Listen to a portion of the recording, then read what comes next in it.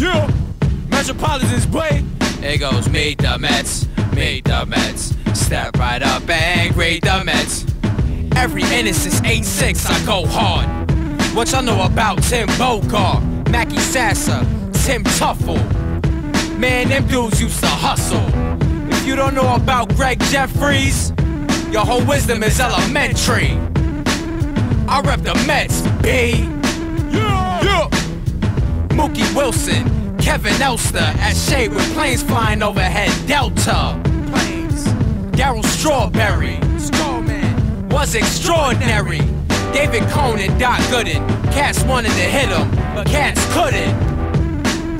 Sid Fernandez, Keith Hernandez was sure-handed. Ron Dolan was thankful for Jesse Orosco and John Franco. Hojo playing third base. Gary Carter behind home plate. Lenny Dykstra with a huge wad of tobacco that didn't even look natural. Take a step inside the time capsule.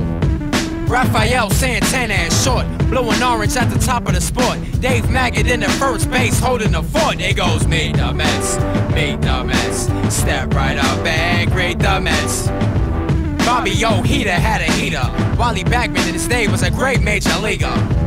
Kevin McReynolds and Kevin Mitchell. Davey Johnson handed in the lineup call, made it official. Made the Mets, made the Mets. Step right up and great the Mets. Yo, don't even make me freestyle about Lee Mazzilli, making cats look silly. Or maybe even talk about Roger McDowell with a mean scowl. And who else did we have?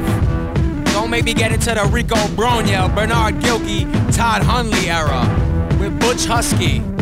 Don't make me get into that. You don't want no part of the. What was that dude's name?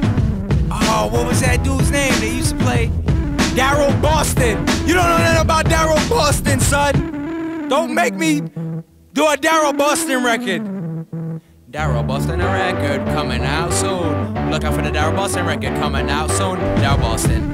No other Met besides Daryl Boston. That's it. End of the song.